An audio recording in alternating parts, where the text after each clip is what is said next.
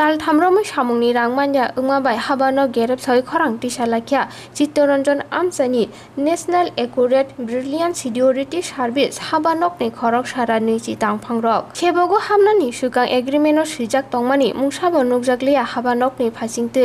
সামুংনি রাং সানকে জাইখলাই জায়গা সেবকনি অঙ্করি থানি হিনি হাবানকনি আচুক ফাংবাই সাজাগো হিনি সাকা সানমুংনি জবাব অঙ্করনাই রক। হাবানক হাবানকনি ফাসিংতে বরকনি সানমুংরক সুপুঙ্গি রিজাগিয়া খে, ফাইনে সালক অত কতর সব অঙ্কটাই হেনি বসাকা। কারণ আমরা এত লাইফ রিক্স নিয়ে সেটা কাজ করি এ বৃষ্টি তুফান সব কিছুর মধ্যে গাছ কাটন লাগে। তারপরে গিয়ে সেটা কোন সময় এত কারেন্টের মধ্যে কাজ করি যে কোন সময় সব খেয়ে মরে যায় এটার কোনো গ্যারান্টি নাই। কোন কোম্পানিতে জয়েন করছিলেন এবং কোন জায়গাতে পোস্টিং দেওয়া হয় কোন ডিপার্টমেন্টে দেওয়া হয়? আমরাকে টেকনিক্যাল অ্যাসিস্ট্যান্টে হিসেবে নিয়োগ করে আমরা কে করেছিল এটা একদম টেন্ডারের আন্ডারে হয়েছে যেটা এনএভিএস কোম্পানির আন্ডারে হয়েছে এটা। এটা টিএসএল থেকে তাদেরকে টেন্ডার দেওয়া হয়েছে কিন্তু এই যে তাদের যে এগ্রিমেন্ট ছিল এটার মধ্যে ছিল যে পাঁচ তারিখের মধ্যে আমাদের স্যালারি দেওয়া হবে।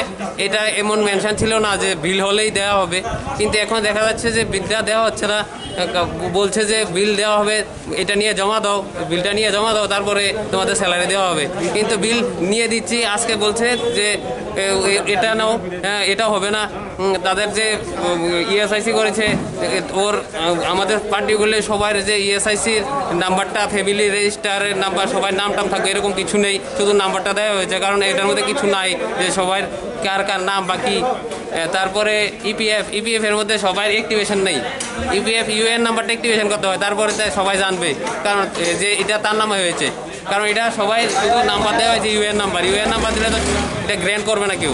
কত মাসের বকেয়া বিল মানে বেতন আপনাদের? আমরা এখন চার মাসের রানিং চলছে। মাত্র এক মাস দেওয়া হয়েছে।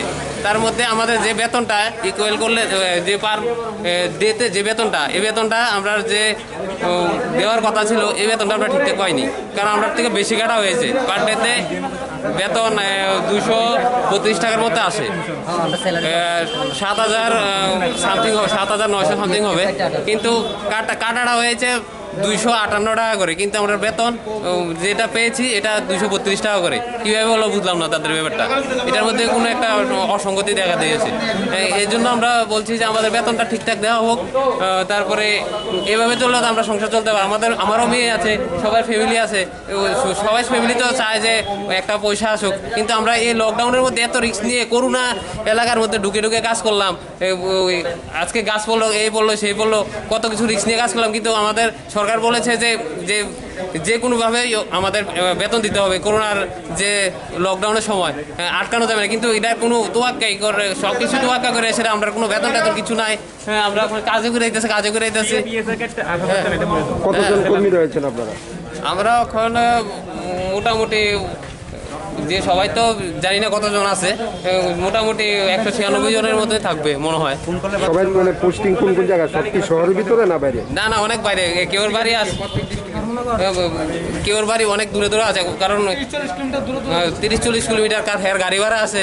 তারপরে না গেলে আমাদের ওই এসডি সাহেব বলে যে তুমি করলে করো নাহলে ছেড়ে দাও। হ্যাঁ ডাইরেক্ট কথা বলে। আমরা এত কিছু। বেতন পাচ্ছেন না কীভাবে চলছে? কীভাবে কি বলব বলেন? এদিক তো সুদ করে কেউ থেকে আমাদের ওই যে স্টাফ আছে ওনার কাছ থেকে কিছু ধান নিয়ে এভাবে চললাম। মালিকের সঙ্গে কথাবার্তা হয়েছে? মালিক তো বলে বিল দিলে দিয়ে দেবে কিন্তু ডিজাইন বলছে এটার কোনো এখনও কোনো সিস্টেম হয়েছে না। কি নাম মালিকের? শিবু সরকার। কোম্পানির নাম কি? এনএভিএস পুরা নাম? Security. পুরা নাম? ন্যাশনাল